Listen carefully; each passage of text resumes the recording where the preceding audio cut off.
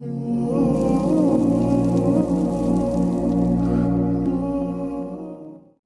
कई रोज से दम तोड़ रही है।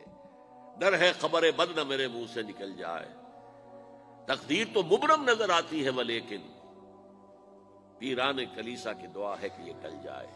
तो पहली बात मेरी खत्म हुई। आलमी निज़ाम खिलाफत दुनिया की तकदीर मुबरम है। होकर रहेगी इसमें किसी साहिब ईमान को।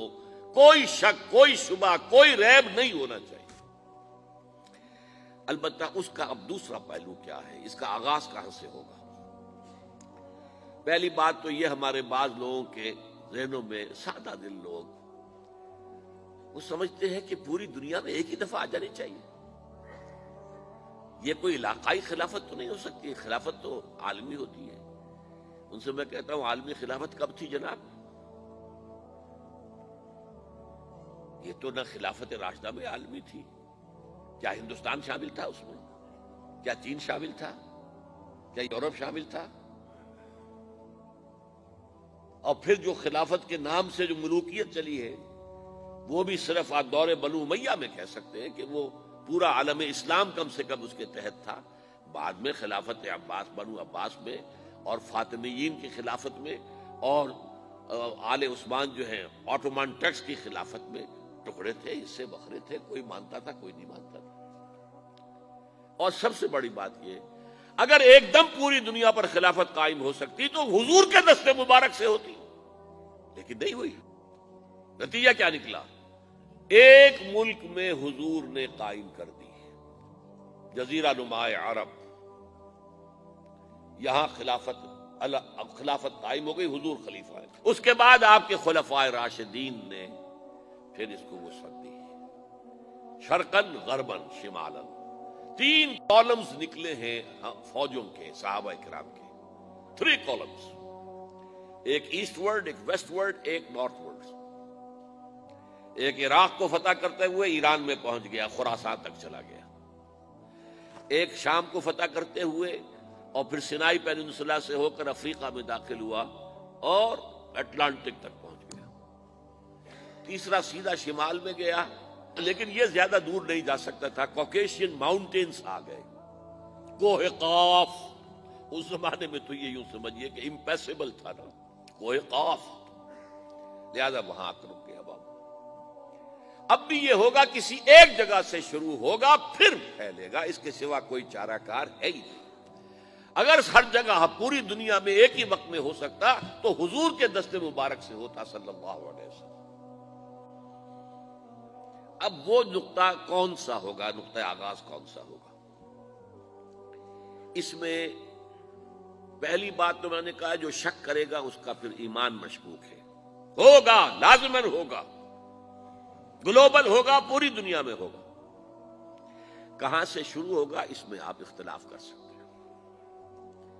लेकिन मुझे तो दो हदीसें तो मिली हैं, जिनसे यह अंदाज़ा होता है कि यह इस मशरकी खत्े से होगा, अरब के मशरक की जानब किसी मुल्क से होगा, किसी खत्े से होगा। वो हदीसें भी अब आप पढ़ लीजिए पहले। फिर मैं कह रहा हूँ, ये खजाना है जो हमने आपकी खिदमत में पेश किया है।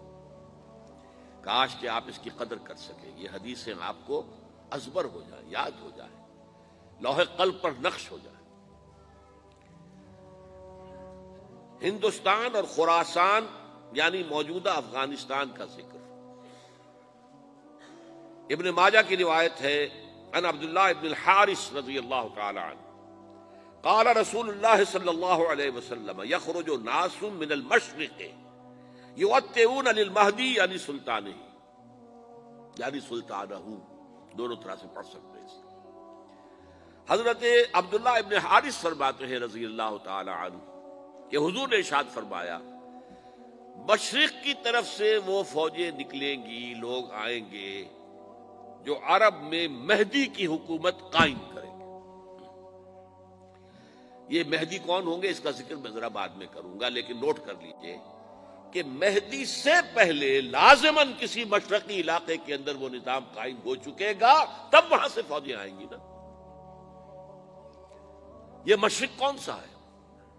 अरब के मशरक में आप चलिए, ईरान भी आ जाएगा, अफ़गानिस्तान भी है, पाकिस्तान भी और अगर उसे और तोसी दे तो हिंदुस्तान भी है। यह है अरब का मशरक। इससे फौजें जाएँगी। इसका क्या मतलब है कि इसमें से किसी जगह पर निदाम खिलाफत पहले कायम हो जाएगा, ताकि वहाँ से फौजें जाएँगी जो जजीरा नुमाए अरब में हज़रत मेहदी की हुकूमत को कायम करेंगे। अब दूसरी हदीस सुनिए। ये सुनने इब्न माजा की हदीस थी जो मैंने आपको सुनाई, आपने पढ़ी। दूसरी, अन अभी हुरैरा रज़ी अल्लाह ये तिरमिजी शरीफ की रिवायत है। काला, काल रसूलुल्लाह सल्लल्लाहु अलैहि वसल्लम, यखरुजो मिन खुरासान रायात सूद, ला यरुद्दुहा शैउन हत्ता तुन सबब एलिया खुरासान के इलाके से सिया झंडे लेकर फौजें आएँगी। उनका रुख कोई मोड़ नहीं सकेगा। उनको पीछे फेर नहीं सकेंगे, कोई भी। यहाँ तक कि वो यरूशलेम में जाकर झंडे नस्ब कर देंगे। एलिया हुजूर के जमाने में यरूशलेम को कहते थे। ये यरूशलेम था जब हज़रत सुलेमान की हुकूमत थी और यहाँ पर माबद सुलेमानी, हैकल सुलेमानी कायम हुआ। फिर ये यरूशलेम ही रहा है तारीख में।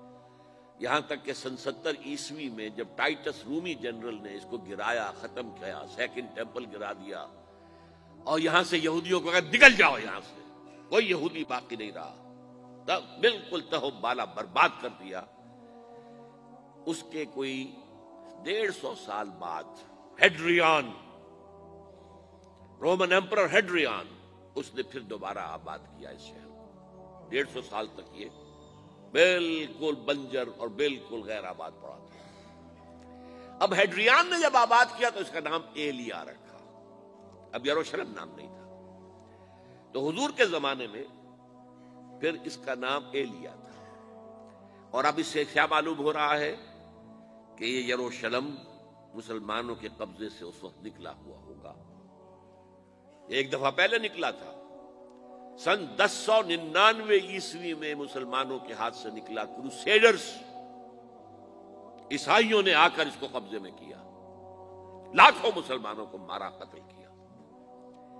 उसको ग्यारह सौ सतासी ईस्वी में वापस लिया है। किसने लिया है? सलाहुद्दीन अयूबी कुर्द। अरब खोखले हो चुके थे। अरबों ने खोया, वापस नहीं ले सके। बहुत हुकूमत कर चुके थे। चार पाँच सौ बरस की हुकूमत करके और उनके ऐश और उनके आराम, अब उनमें जान नहीं थी कि वो वापस ले सके। वापस लेने वाला गरम कुर्द खून था। सलाहुद्दीन अयूबी तो गोया कि अब आप समझिए कि अठासी बरस तक ईसाइयों का कब्जा रहा यरूशलेम पर। अब उन्नीस सौ सड़सठ में यहूदियों ने कब्जा किया है। और अब 38 बरस तो हो गए, अठासी नहीं तो 38 बरस तो हो गए लेकिन वो दौर आएगा कि अब फिर लेंगे। लेने वाले अरब भी नहीं होंगे। खुरासान के इलाके से फौजें आएँगी। ये खुरासान क्या था? एलिया तो मैंने आपको बता दिया। यरूशलेम का नाम है। खुरासान उस जमाने में एक बहुत बड़े मुल्क को कहते थे। कुछ हिस्सा पाकिस्तान का भी उसमें शामिल है। कुछ हिस्सा ईरान का भी है। ईरान के उस हिस्से को अब भी खुरासान कहते हैं। वो एक सूबा है। खुरासान, एक सूबा है ईरान का, छोटा सा। पाकिस्तान में खास तौर पर यह जो इलाका मालाकंड एजेंसी कहलाती है, इससे ऊपर जितना इलाका है। और ये जो वाखान की एक पट्टी आती है ऊपर, वाखान, अफ़गानिस्तान की एक पट्टी सी, दुम सी चली आती है, जो जाकर चाइना की सरहद से मिल जाती है। यहाँ से लेके यहाँ तक ये जो नालाकंड का वो दरा है और पहाड़ है, ये भी खुरासान का हिस्सा है। बाकी तकरीबन two third of Afghanistan southern हिस्सा नहीं है खुरासान का हिस्सा, ये सीस्तान कहलाता था। ये खुरासान नहीं है। लेकिन ये कि ऊपर का टू थर्ड ऑफ़ अफ़गानिस्तान और उसके साथ ये जो अरब, जो अब ये तुर्क ममालिक आज़ाद हुए हैं, सोवियत यूनियन के डिसोल्यूशन के साथ। ये सारा इलाका कहलाता है खुरासान बुज़ुर्ग। The great Khorasan.